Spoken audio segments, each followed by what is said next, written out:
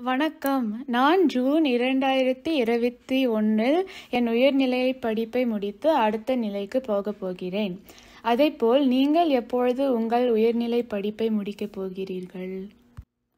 நான் இன்னும் சில மாதங்களில் பள்ளி படிப்பை முடித்து கல்லூரிக்கு போகப் போகிறேன். அதனால் கல்லூரிகளுக்கு விண்ணப்பம் எழுதி அதை பற்றி விவரமாக தெரிந்து கொள்ள எல்லா வேலைகளையும் செய்து கொண்டிருக்கிறேன்.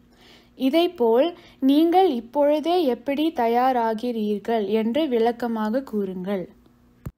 நான் இரண்டு வருடத்திற்கு முன்பே என்னோட உயர்நிலை வகுப்பில் படித்த மாணவர்களிடம் உயர் படிப்புக்காக என்னென்ன செய்ய வேண்டும் அப்படின்னு தெரிந்து கொண்டேன்.